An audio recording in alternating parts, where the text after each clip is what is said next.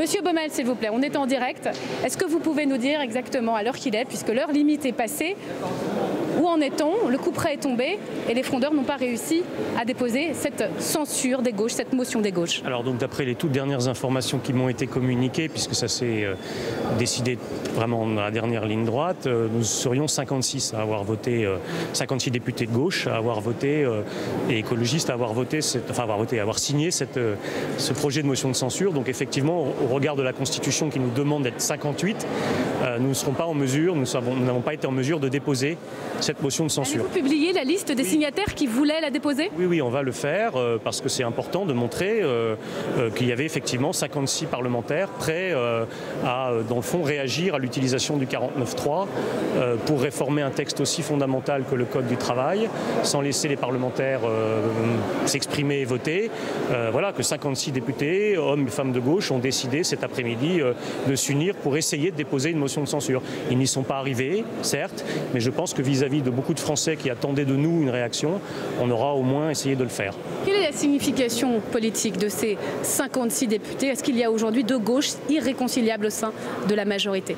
Non, je ne crois pas en ce qui me concerne qu'il y ait deux gauches irréconciliables parce que je pense qu'en vérité, sur les principes et les valeurs que nous avons défendus, beaucoup de nos collègues socialistes, même parmi ceux qui n'ont pas voulu voter notre motion de censure ou parmi ceux qui euh, sont généralement considérés comme des députés plutôt euh, fidèles à la ligne gouvernementale, beaucoup partagent notre ressenti, euh, nos critiques et sont eux-mêmes en confrontation permanente avec des électeurs qui leur disent à quel point la politique qui est menée aujourd'hui ne répond pas à leurs attentes.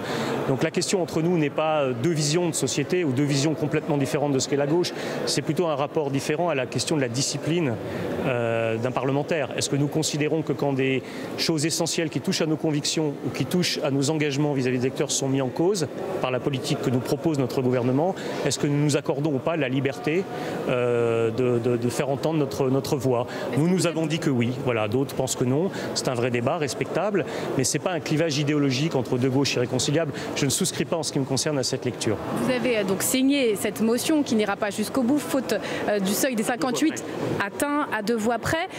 Est-ce que vous, vous êtes prêt aujourd'hui à sortir du Parti Socialiste? Ça aurait été la conséquence hein, si cette motion avait été déposée ben, Je ne sais pas si ça aurait été la conséquence. ça, personne ne peut le dire avec certitude parce que euh, moi, je, ne crois pas. Beaucoup de ministres, Manuel Valls en tête, l'ont laissé entendre. Entre la parole et les actes, il y a parfois la réflexion.